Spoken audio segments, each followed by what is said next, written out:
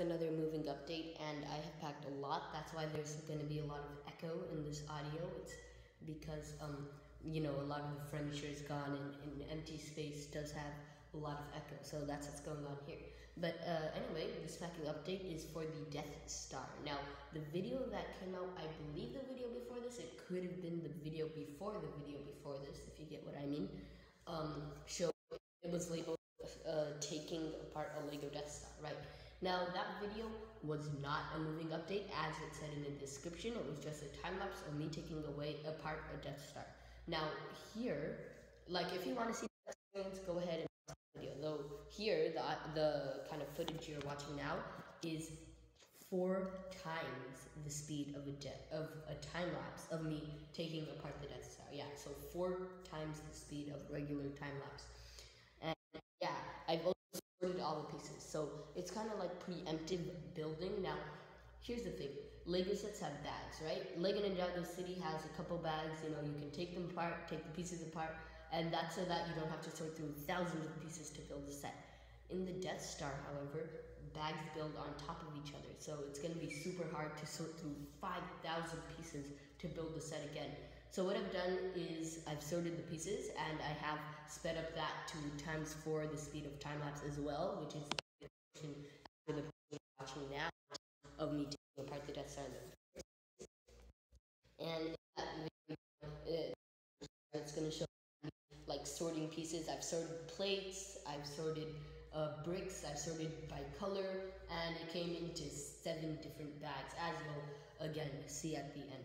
But uh, anyway, because this, oh yeah, and the reason I sped it all the footage, all the footage up. First of all, it's not regular time; it's time lapse, and then even time lapse speed. The reason I did that was because I didn't want this to be 20 minutes like it would have been.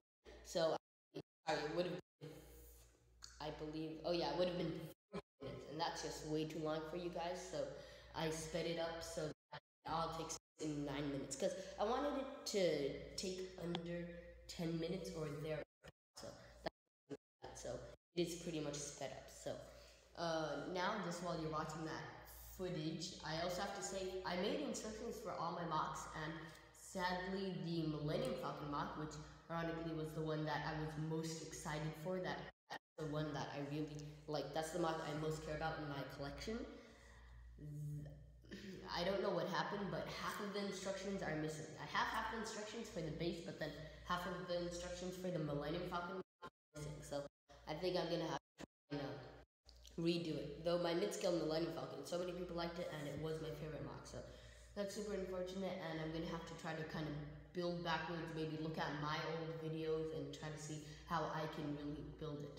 And uh, so in my gap from when I went on a trip and then from when I was packing and doing the garage sale and all that, if you guys follow me, you know what I'm talking about. It was around a month and a half that I didn't do any news videos covering new sets. Like my latest one was the Stranger Things set.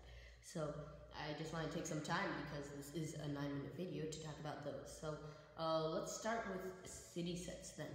For City, the space theme, I'm really happy that they brought space back, and it's way fresher than I thought. I thought, oh, it would just be the same old thing, but I don't know, it's a really fresh wave, and uh, I think I'll get the People Pack, the little starter pack that will be at Lego stores.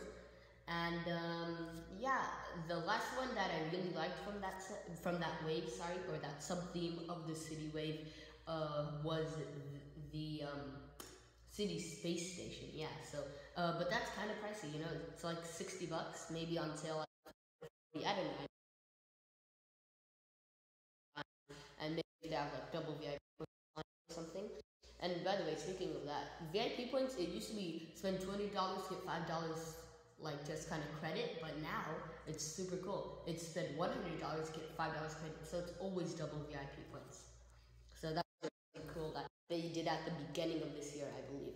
But anyway, uh, so that's all I'm planning on for the space theme. Now let's talk about the regular city sets. I love the donut shop in that kind of eighty dollar set, but I don't know. I don't like the construction vehicles like I do, like I don't with any of these kind of big assembly square type sets. But uh, I'm definitely to get the people pack. I always get all the people packs. I did miss out on the one from 2018, though I ordered that. It's just not with me right now. It shipped to my new house, which again, I'm gonna move to at the end of this month. So yeah, I'll get the people pack and maybe one other small set. I don't know really, but that's all my plans for City. Uh, what else do we have revealed? Oh yeah, Harry Potter stuff. I, I'm, I'm kind of sad that I didn't cover those, but now I guess it's too late. But getting all of them. Like the Harry Potter wave is so amazing, and they've been doing it. They they are keeping the consistency, which is why it's my favorite theme. Although I do have to say Hagrid's Hut is kind of overpriced, and the kind of Beauxbaton carriage, if you guys saw that, it got revealed with the graveyard set. The Beauxbaton carriage is like I don't know what to think about it. Like it's just so odd. And sixty bucks, I think, or fifty bucks. Like we get, it's from the Goblet Fire, so we get two out of the three three tasks. Like we get the Hungarian Horntail, the dragon task, and we get the Graveyard Duel. But then we don't get the kind of thing with the mermaids, the second task. Like, come on, we need that task, and it's much better than getting the Beauxbaton carrot. So I'm kind of sad about that. But I guess I could use like the twenty dollar Justice League Aquaman set for the task. I bet yeah, that's just an idea I had. And uh, yeah, the Batman that I didn't cover either because that got revealed while I was on trip. Uh, the Tim Burton style Batmobile for 30 bucks is okay, and the small set is also okay. I don't think I'll get any. No endgame spoilers, but the endgame sets are super inaccurate. So uh, I think like I'll get Iron Man Hall of Armor, and I've already ordered Compound Battle, but I think I'll get Iron Man Hall of Armor as well. And yeah, that's pretty much it. And let's see, there's oh yeah, um, there's one more thing. It's the Lego Dimensions. I don't know. I've just been thinking recently about getting Lego Dimensions. I know that a lot of people thought it was it, it, it is pretty unpopular, but I don't know. I if the game just for the Lego stuff like figures and all that, but I'll um, try. Uh, let's hope I actually win. It's gonna be tomorrow time, but we'll see how that works out. Uh, okay, back to my sorting pieces, which this video is basically about. Because we got like, for this audio and the video.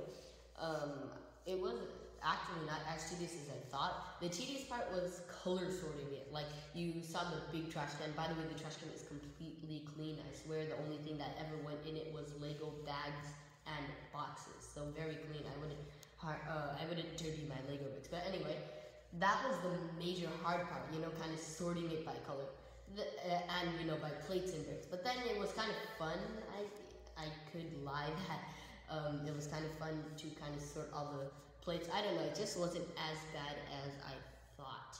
And uh, there should be another moving update coming soon. Probably in the next couple of days. I gotta like make videos for a lot of other stuff and then that video should come out very soon afterward. And by the way, I used around 80, not, mm, yeah, 50, 50 Ziploc bags just to sort all the Death Star pieces. And, it, and I will admit, like, it could be considered wasting Ziploc bags, but not really, because once I build the Death Star, I'll have all those Ziploc bags, and then we could just use them for something else, you know, after one month. It's just temporarily to pack up my Death Star, so not really wasting, but yeah. Uh, that's it for this video, and um, yeah, so I got the Death Star done. The next thing to do is tidy up a bunch of little stuff, and then prepare for the garage sale, which is gonna happen in a couple days. So yeah, that's it for this video. Hope you liked it. Please subscribe, leave a comment down below, and I'll talk to you again soon.